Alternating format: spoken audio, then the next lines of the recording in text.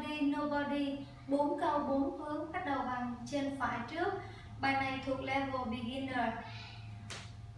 Chúng ta bắt đầu với chân phải ạ. À.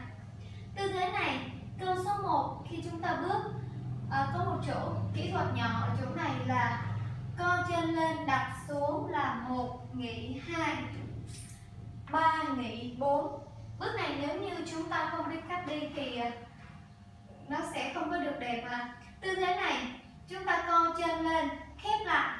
Bàn chân thẳng ha. Chúng ta sẽ không có bọc cái mũi chân vô, mà bàn chân thẳng.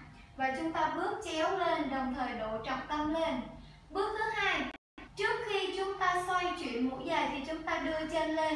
Và khi chúng ta đặt chân trái xuống thì chúng ta phải quay được cái chân trục của chân phải. Bước xuống. Rồi, với số đếm lại à tư thế này một nghỉ hai, ba nghỉ bốn. Chúng ta làm lại một lần nữa là một nghỉ hai, ba nghỉ bốn. Bước năm, bước sáu, bước bảy, xoay tám ra sau theo chiều bên trái câu số 2 chúng ta lên hai bước sau đó cha cha hai hai ba và bốn thực hiện bước rocking chair là bước ghép ghế. Năm, sáu, bảy, tám. Câu số 3 ba bước đi ngang.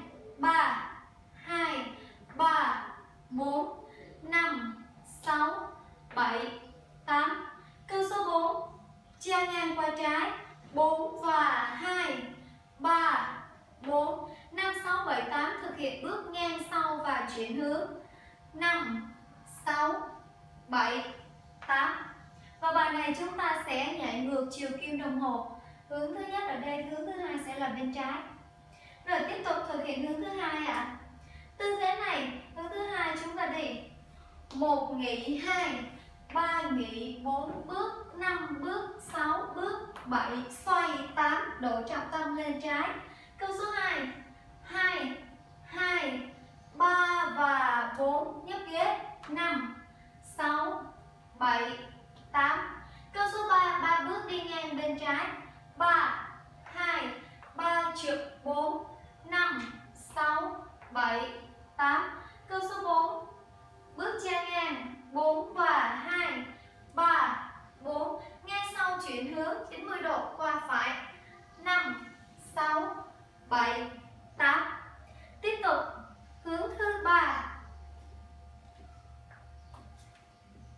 để một nghỉ hai, ba nghỉ bốn bước, năm bước, sáu bước, bảy xoay tám.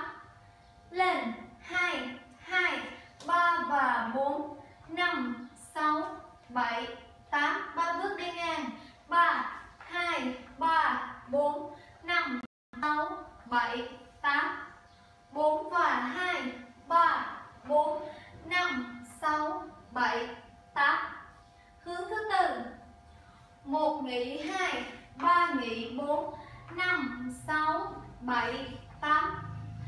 Hai hai, ba và bốn, năm, sáu, bảy tám ba hai ba bốn năm sáu bảy tám bốn và hai ba bốn năm sáu bảy tám Bài này chúng ta sẽ có một số tháp bốn nhịp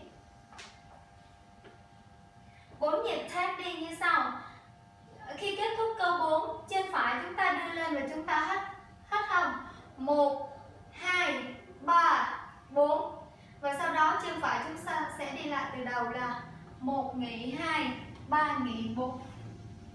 Chúc cả nhà thành công với nobody nobody.